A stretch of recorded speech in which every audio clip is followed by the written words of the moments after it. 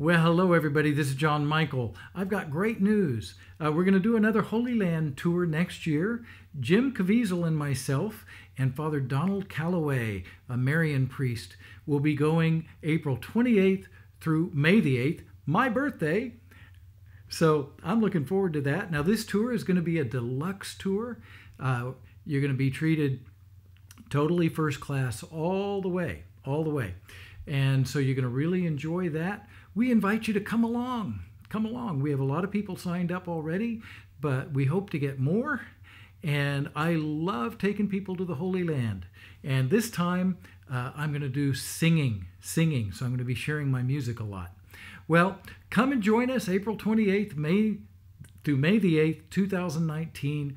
Myself and Jim Caviezel and Father Calloway. It's going to be the tour and the pilgrimage of a lifetime.